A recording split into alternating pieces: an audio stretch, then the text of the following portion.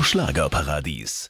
Hallo zusammen, ich begrüße euch zum gefilmten Interview mit Radio Schlagerparadies und ich habe auch heute wieder einen tollen Gast bei mir und das ist niemand Geringeres als Art Garfunkel Junior. Hi. Ja, Art hier. der Art ähm, hat sich was ganz Besonderes überlegt. Sein Papa hat nämlich Geburtstag. Art Garfunkel hat Geburtstag gehabt, so muss man sagen. Runde Nummer. 80 ist er geworden. Tolles Alter. Und es, wie geht's ihm denn?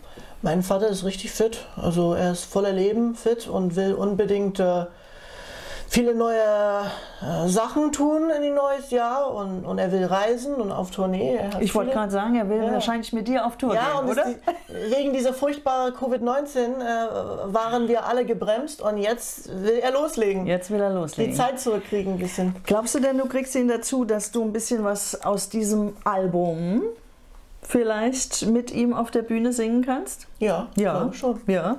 Er singt auf Englisch und ich auf Deutsch. Ich wollte gerade sagen, du musst ja dann den deutschen Part machen.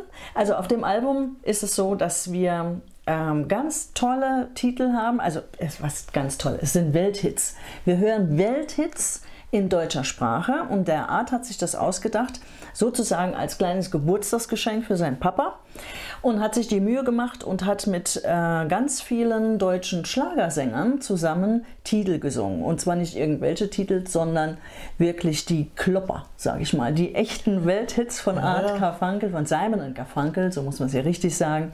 Das ist ja doch eigentlich Schlager.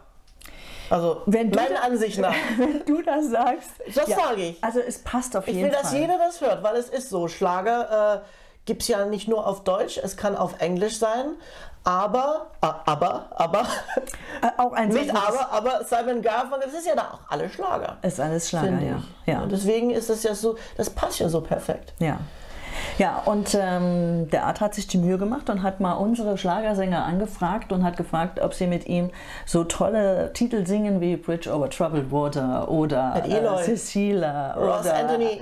Also ist, äh, da ist ja ein toller Hit nach Boxer, ein toller Hit nach Lucas dem anderen González. über und also, ihr müsst euch mal dieses Album antun. Da sind sie alle drauf, alle tolle Titel von äh, Simon and Garfunkel und, Und Solo, das in Garfunkel. Ah, haben wir ja auch noch, richtig. Bright Eyes, ne? Ja, Wie du, was ich mit Mariana Rosenberg singe. ja. Auch ein, wirklich ein von meinen Lieblingslieder auf, der, auf dem Album. Ja. Also da habt ihr wirklich was ganz Tolles, also diese wunderbaren Welthits in deutscher Sprache mit unseren tollen Schlagersängern und natürlich mit Art Garfunkel Junior. Das ist es in kurzen Worten. Ähm, jetzt bist du natürlich da, um dieses Album vorzustellen, aber wenn ich dich schon mal auf einer Couch neben mir habe, Ja. ich habe viel über dich gelesen und gehört. Du bist ja nicht so der Mensch, der, sage ich mal, so ein echtes, wirkliches Zuhause hat. Du bist ja jemand, der gerne rumreist, habe ich gehört. Jetzt ist meine Frage, gibt es denn tatsächlich so einen Daheimpunkt für dich? Ja, also ich, ich Europa. Europa. Ich würde so antworten, Europa. Ähm, ich bin in Berlin äh, basiert, aber ich bin ja eigentlich fast nur unterwegs. Also immer entweder mit Bahn oder mit meinem weißen Golf-Kombi auf der Autobahn. Fahre von A bis B bis C bis A und hin und her. Ja, ja, aber Berlin, da hast du eine Wohnung? ja genau. Ja. Genau, ja. Und äh, hast du eine Couch? Das ist die erste Ich Frage. habe ich hab eine Couch, ja. so eine ähnliche Farbe sogar. Ja, jetzt hätten ein wir deinen Geschmack erahnt. ja, ist so. Ähm, du benutzt die auch? Ja, ich nutze schon mein, meine Wohnung. Es ist ja gemütlich, ist nicht groß. Nicht groß, aber, also, aber sehr schön. Und dass ich ja allein lebe, reicht mir völlig aus. Aber ich bin ja einer, ich, das, ich habe ich hab dieser Treib in mir, dass ich muss ja immer in Bewegung bleiben. Aber ich bin meistens ja irgendwo mal in, in, in Deutschland. äh, Ne? So Deutschland ist ja für Europa kein kleines Land. Also das ist ja Europa. Wenn man mal zusammen im, im Saarbrücken ist, ist ja ein Teil Europas und Berlin komplett anderer. Das ist oder richtig. Schweiz, Zumal- Österreich, zumal oder von hier aus. Osteuropa. Von Saarbrücken aus ist es ja echt nur noch ein Katzensprung Ja. bis in die anderen Länder. Das stimmt, man ist hier in Europa schon gut, man kann da Das ist gut unterwegs Zuhause. sein. Okay. Und äh, wenn du dann nicht in Berlin bist und unterwegs bist, ähm, suchst du dir Hotels oder wie machst du es? Ich suche mir Hotels oder, oder Camping oder mit Freunden. Ähm, habe viele Freunde in jede, jede Ecke Deutschlands, muss man mal ganz ehrlich sagen. Jede Ecke habe ich, habe ich gute Freunde und Bekannte. Ja, ich finde mir immer, immer einen Weg. Aber so richtig so, so auf Reise, so Luxusmann bin ich überhaupt nicht. Bist du gar nicht? Nee, das interessiert mich nicht. Okay. Ich bin eher ein bescheidener. Also.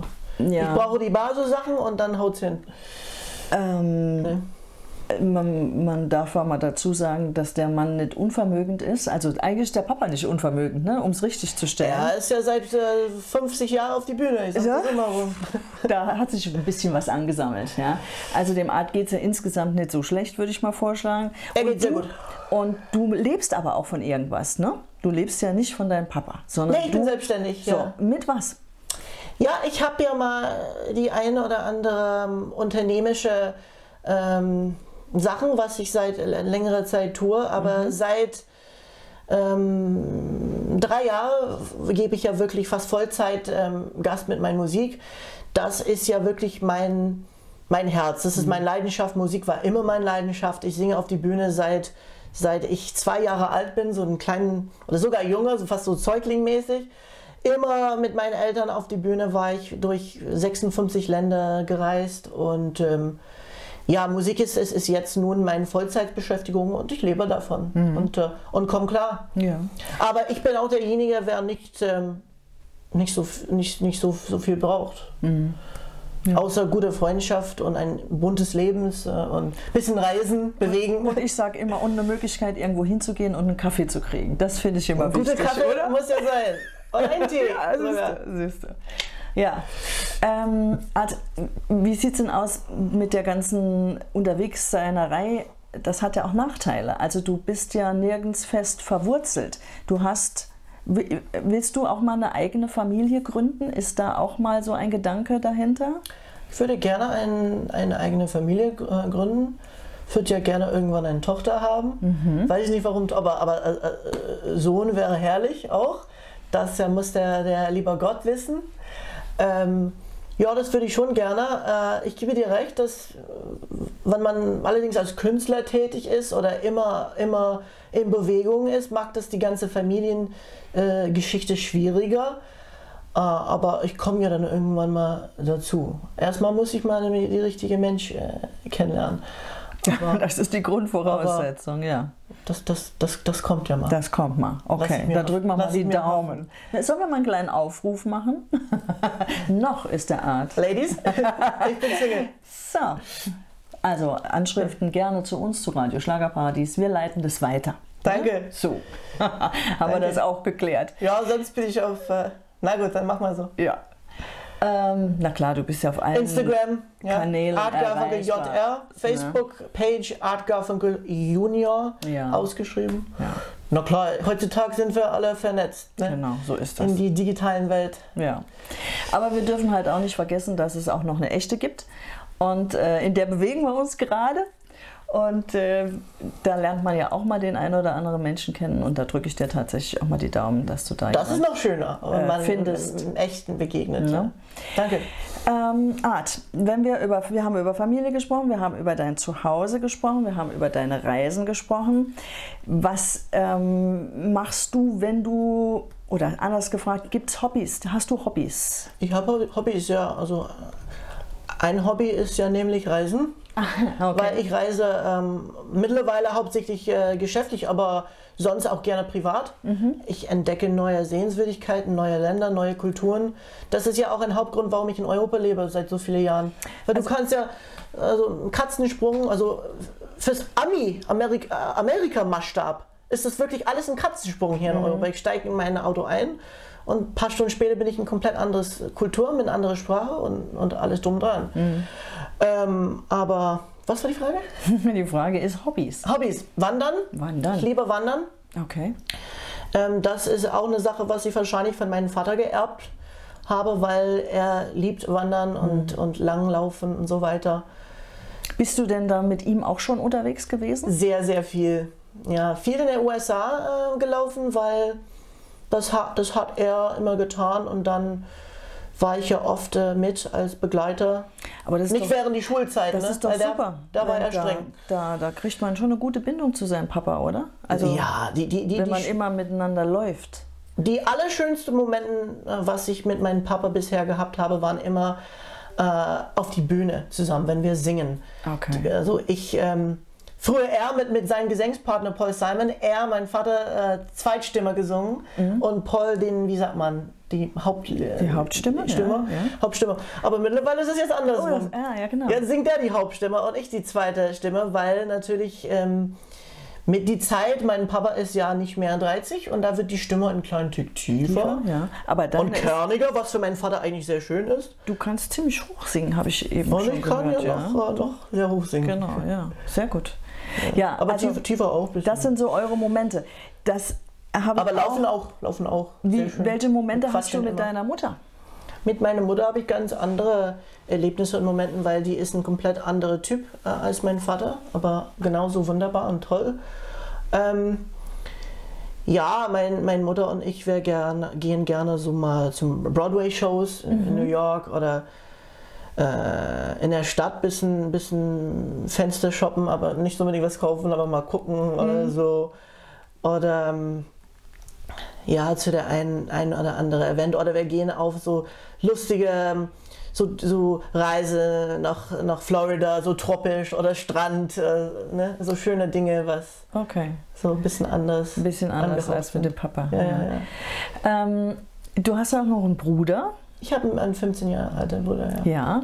Und ähm, seht ihr euch als Familie an bestimmten Tagen, wie jetzt zum Beispiel Weihnachten steht vor der Tür? Äh, seht ihr euch da alle zusammen auch? Ja, auf jeden Fall. Ich würde gerne dahin fliegen, nach, äh, allerdings nach Florida, weil meine Oma ähm, hat, ein, also die lebt da teilweise. Ähm, und ähm, da werden wir Weihnacht, äh, Weihnacht feiern. Unter der Sonne Florida. Unter der Sonne, das ist ja nicht typisch. Nee. Aber man muss ja sagen, ich weiß nicht, wie es hier ähm, war in, in, in Saarbrücken, aber zumindest im Norden gab es ja seit ganz vielen Jahren leider keinen Schnee mehr zur Weihnachtszeit. Ne? Ich, 2012 oder Doch, so. wir hatten aber Ah, letztes Jahr. das doch, ist ja, noch wunderbar. Ja, ja. Aber natürlich gab es ja in der USA häufiger Schnee, ähm, Mhm. allerdings nicht in Florida. Und deswegen bin ich ja in der Regel immer zur Weihnachtszeit in der USA. Letztes Jahr war ich in Minnesota. Mhm. Meine Mutter kommt ursprünglich aus Minnesota. Das ist so eine nördliche Stadt. Und da gibt es fast jedes Jahr Schnee, ne? weißen Schnee wie ein Traum. Und das gehört ja eigentlich dazu. Ne, Eigentlich schon, Weihnachten. ja. Aber Aber ihr macht es jetzt dann dieses Jahr Dieses Jahr tropisch, tropische Weihnacht, tropische Santa Claus. Und äh, du hast keine Probleme hin und her zu reisen in die USA und zurück unter diesen Nee, du- momentanen Umständen. Es ist eine sehr, ernst, sehr ernsthafte Sache. Ähm, ich bin vollständig geimpft mit äh, BioNTech, BioNTech und ähm, das habe ich ja relativ früh angemacht, sobald ich ähm, die Möglichkeit hatte. Mein, mein, meine Zielgruppe kam, dann habe ich das äh, sofort gemacht. Ähm, und ich nutze alle, also ich alle, tue alle Maßnahmen, was ich kann, um mich zu schützen. Äh, es ist sehr, sehr schwierig und, und nicht schön, aber man muss ja solidarisch sein und mitmachen. Richtig, ja. Meiner Ansicht nach. Ja. Ja, Aber trotzdem war ich ja schon ab und zu ähm, mit Maske und Handschuhen alles drum dran doch äh, dahin geflogen. Ja. Das werde ich ja wieder tun. und wenn du dann wieder zurück bist, hast du denn für Deutschland eine Tour geplant oder habt ihr die Tour nur in Amerika geplant? Ich habe die eine an- oder andere Sache jetzt mal im Arbeiten. Ähm, das müssen wir gucken. Ich, äh, Voller Kanne sollte kommen ähm, im Dezember. Ja. CDF, na, das Ja. ist eine tolle Sache. Ja, Ich bin ja auch ein Frühstücksmensch, also das bringt mir mal okay. voll der Glückshormone, sowas zu machen. Mal gucken. Und sonst, ähm, also tourneemäßig, auch äh, Sachen geplant, interessante, aber das, da muss man schauen, weil Corona Es ist schwierig, ja. können wir nicht schätzen, was Ja. kommt. Ja, Leider. Ja. Das ist für uns äh, Künstler nicht einfach. genau. Das ist Aber richtig. Willkommen klar. So, umso wichtiger ist es, dass ihr CDs verkauft. Na, ihr müsst ja von irgendwas Gehört müssen die alles Künstler im Moment leben, weil auf die Bühne können sie im Moment nicht so besonders gut. Deshalb ähm, gibt es auch so tolle Alben wie zum Beispiel dieses. Ich finde, es auch wäre ein tolles Weihnachtsgeschenk. Das es ist stimmt. aber auch ein tolles Ostergeschenk. Wie du. Es ist, ähm, es ist ein, ein Album mit Welthits von Simon and Garfunkel. Ähm, Art Garfunkel Junior hat es mit vielen bekannten Künstlern aus der Schlagerszene äh, neu aufgenommen in deutscher Sprache. Kann es euch nur noch mal ans Herz legen. Ähm, in diesem Sinne, wir haben noch ein paar andere Dinge hier bei Radio Schlagerparadies vor. Und, Ich muss äh, sagen, ganz ehrlich, ich höre immer Schlagerparadies und das seit Jahren. Ähm, wie gesagt, ich bin immer in Bewegung und fahre gerne Auto und dann habe ich ja immer, nicht nur Auto, ich habe auch mein Radio zu Hause, mein DAB-Radio, vorbildlich. aber ich höre immer Schlagerparadies. Ähm, ja, toll. was sonst? Was sonst? Also das ist ja meine Wahrheit. ganz unsere Meinung. So, Äh. also solche Gäste haben wir immer gerne hier bei Radio Schlagerparadies. Äh, vielen Dank für deinen Besuch hier. Herzlichen Dank. Wir sagen mal Tschüss an unsere Zuschauer. Tschüss, bis bald. Bis bald. Schlagerparadies. Oh yeah, yeah. Hier fühl ich mich.